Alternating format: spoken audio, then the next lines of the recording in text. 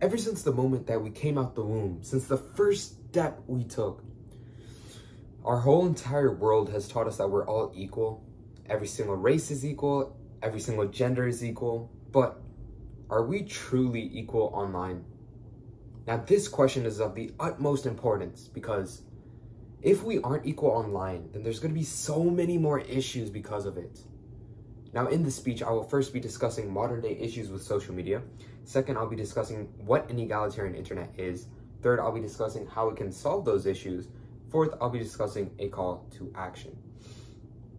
So first, let's discuss the modern day issues.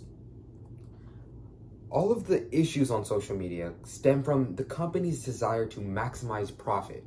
If it means they can make more money or maximize engagement, they will do it. They don't care about forsaking your mental health, your physical health, or your attention span. If they make a little bit of dough, that means they will have to do it. Now, our current system increases polarization, misinformation, and cancel culture because of the echo chamber. Think about it. In the current society, there's an influencer at the top and there is followers at the bottom. Every single post the influencer makes, the beliefs get sent out straight into the heads of its followers. And this means that if they made a post about misinformation, if they had misinformation in the post, all of the followers now have consumed misinformation. Social media companies also use the system to increase confirmation bias and increase polarization because now the influencers' beliefs are getting sent straight to these followers. And sure, you could argue that these followers have some degree of authority and they can reply in the comment section and say, no, I don't believe that. But nobody has as much power as the influencer. Everybody sees the initial post, not everybody sees the comments. Now, this current situation can be extrapolated to the ruining of relationships because now people are too polarized to even talk to each other because if you don't agree with my beliefs, we are no longer friends. This type of mentality is spreading rapidly among the youth, among all types of people. Now let's move on to what an egalitarian internet is. According to Damon Centola, an egalitarian internet has equal number of contacts and influence throughout the network. This means regular people like me and you would be able to directly change and influence the governing content policies and algorithm policies that we experience on a daily basis. Unlike the current status quo where there's only the influencer at the top and the follower who follows, we would be able to do it. Now, a sociologist at George Mason University has warned us that we might be witnessing the second American Civil War because of this increased polarization, which is why it's so necessary we find a solution. So now let's discuss how an egalitarian internet can become that solution. An egalitarian internet solves all of these issues with social media through its unique characteristic of having equal influence throughout the network. There's two things here. First, the company's initial desire to maximize profit and to do anything to do that is diminished because regular people like me and you, we can change it, change the policy, change the algorithm to suit our our experience, which means that they don't have as much power as they used to.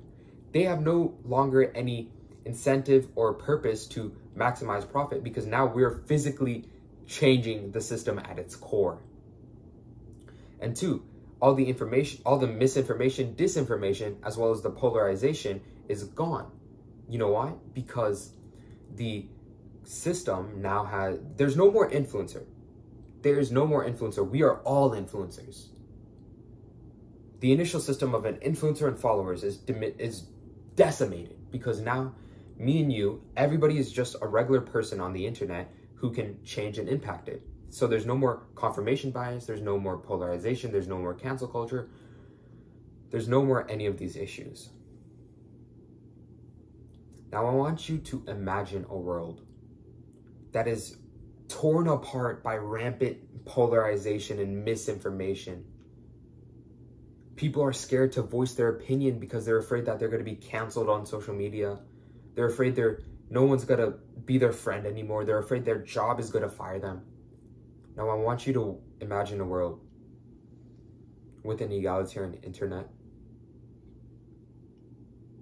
I want you to imagine how everybody would be able to voice their opinions, their true ideologies, their beliefs, as well as create new ideas organically because now we're actually speaking our truth.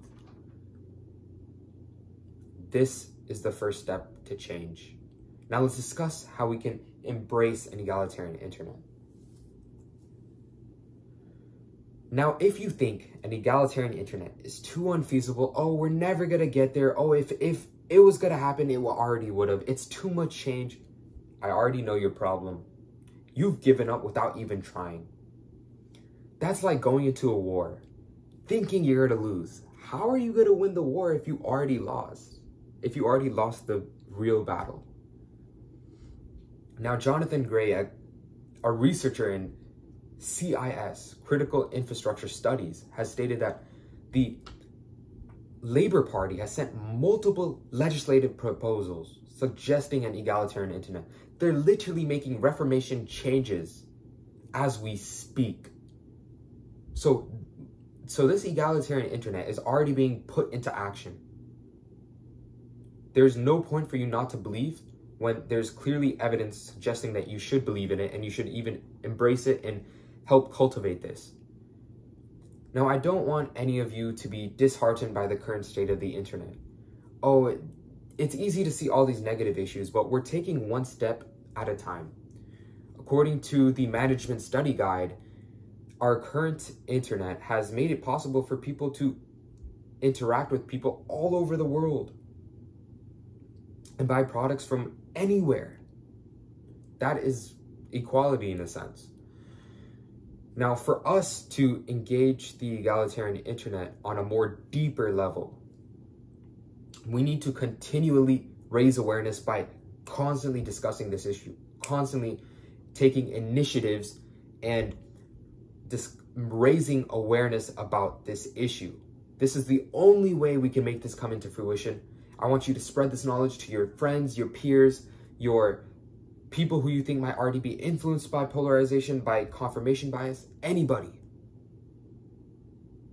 We need to start somewhere. Let's start today.